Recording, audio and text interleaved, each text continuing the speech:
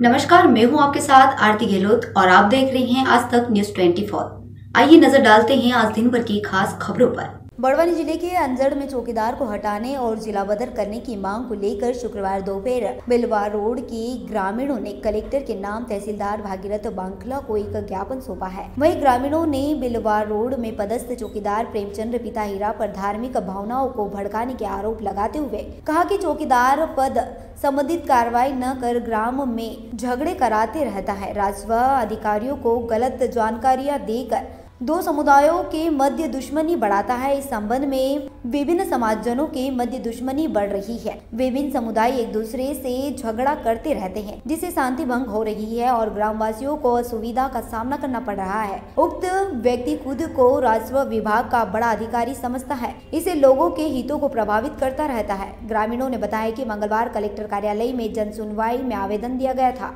तहसील कार्यालय में गुरुद्वार सेक्रेटरी जसवंत सिंह जैल सिंह नारायण सिंह सोन सिंह दर्शन सिंह आदि मौजूद रहे हैं। नाम? मेरा नाम जैल सिंह है। जी ये आज तहसीलदार साहब को किस संबंध में आपने ज्ञापन दिया?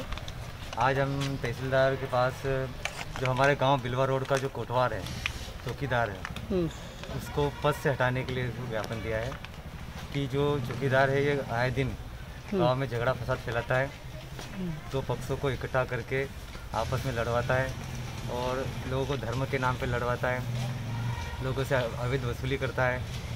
बहुत सारे और गाँव में जितनी भी आसंती बनी है इसी के कारण बनी हुई है। क्या नाम है इस चौकीदार का?